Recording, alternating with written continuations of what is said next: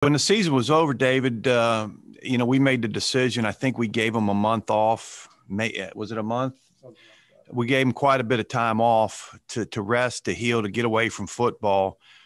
Once that was done, it was full blast, full bore, everything uh, to get ready for a season. So it's it's really seemed pretty normal, and these guys can probably answer that too. But it, it seems we're on normal track to have a normal um, fall camp and, and a preparation, and and most of our guys back we're back for the second session of summer school, but we did give them about a month off and got let them get away um, you know, not, a lot of those guys came in and lifted and did their thing um, because they never want to stop training and, and, being the best they can be. But we thought as a coaching staff, Coach Brinks, my strength coach, uh, we had a lot of conversations. He felt that was the best route to go. Uh, once that was done, uh, we said, "Here you go, let's roll," and and it, and it and we cranked it up. And these guys have done a great job this summer.